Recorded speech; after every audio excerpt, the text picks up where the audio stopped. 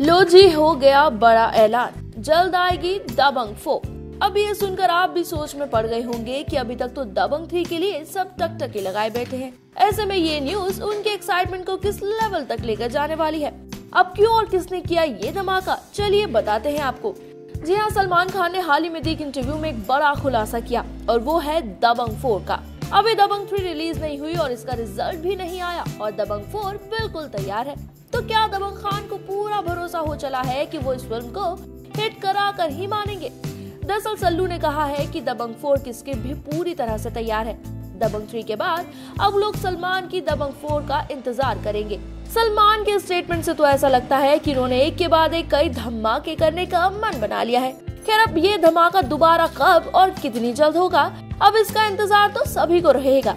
आपको बता दें कि दबंग थ्री में सलमान एक्टर किच्चा सुदीप से टक्कर लेते हुए नज़र आने वाले हैं और इस फ़िल्म में वो साई मंजेकर के साथ इश्क फरमाते हुए नज़र आएँगे।